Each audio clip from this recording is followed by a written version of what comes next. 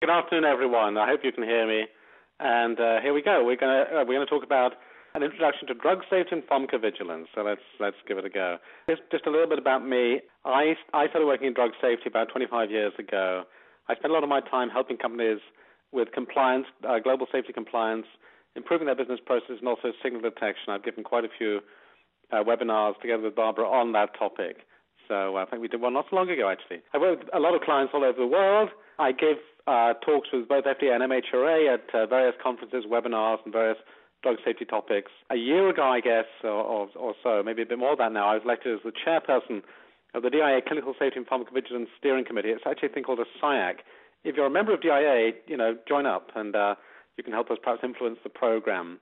Uh, we figure out what we're going to talk about at DIA meetings there. And once upon a time, I did maths and computer science in, in, in Cambridge and England. And that's enough about me. Okay, let's talk about what we're going to do today.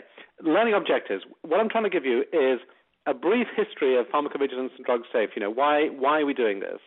Look at the differences between adverse event reporting in both the clinical and the post-marketing setting. Run you through some of the com- common abbreviations and definitions. There, it's got its own language.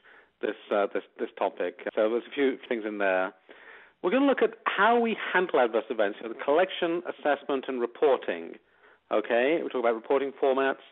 I'm going to give you a brief overview of the, the pertinent U.S. And, and, European regulations, and then we'll do a little bit of signal detection and risk management. We'll actually take some data and we'll do a little bit of analysis and find some signals.